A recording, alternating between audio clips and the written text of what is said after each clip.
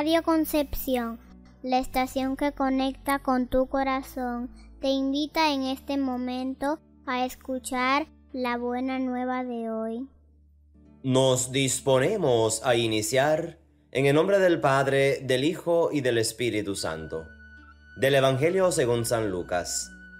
Aquel día se dirigía Jesús a una población llamada Naín, acompañado de sus discípulos y de mucha gente. Al llegar a la entrada de la población, se encontró con que sacaban a enterrar a un muerto, hijo único de una viuda, a la que acompañaba una gran muchedumbre. Cuando el Señor la vio, se compadeció de ella y le dijo, No llores. Acercándose al ataúd, lo tocó y los que lo llevaban se detuvieron. Entonces Jesús dijo, Joven, yo te lo mando, levántate. Inmediatamente el que había muerto se levantó y comenzó a hablar. Jesús se lo entregó a su madre. Al ver esto, todos se llenaron de temor y comenzaron a glorificar a Dios diciendo, Un gran profeta ha surgido entre nosotros, Dios ha visitado a su pueblo. La noticia de este hecho se divulgó por toda Judea y por las regiones circunvecinas. Palabra del Señor.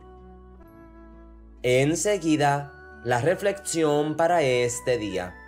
En el mundo actual, en el que tenemos tanta tecnología y tantos avances en las ciencias, todavía muchas personas mueren por la falta de la sensibilidad de aquellos que tienen más, pero que hacen cada vez menos, pues el egoísmo les hace centrarse en ellos mismos y en sus intereses, olvidándose de esta manera de que otros también necesitan.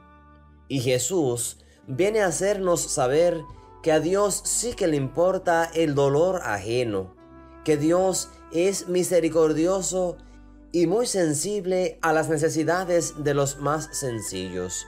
Por eso, al encontrarse Jesús con esa viuda, cuya única esperanza era ese hijo, él, al verla triste y desconsolada, se compadece de ella y le devuelve el deseo de seguir viviendo, pues le da sentido a su vida, porque Dios ha visitado a su pueblo y lo hace de una manera tan fascinante que todo el que lo ve no quiere jamás separarse de Él, porque Él es la vida misma y todo el que cree en Él no morirá para siempre.